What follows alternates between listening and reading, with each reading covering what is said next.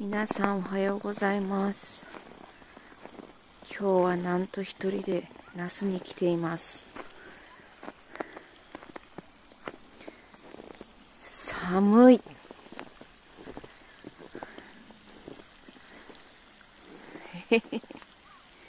こんな寒々しいのに噴水。見えるかな？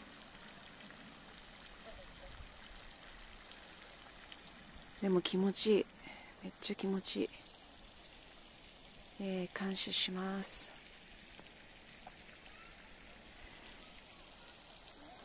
今年も一日感謝して喜んで過ごせますように。主よ感謝します。新しいこの朝を主が与えてくれたこの日を主よ感謝します豊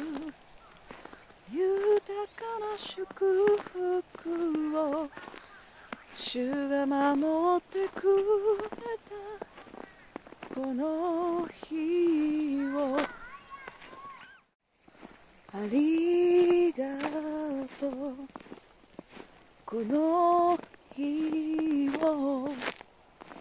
ありがとう。この日を。今年もよろしくお願いします。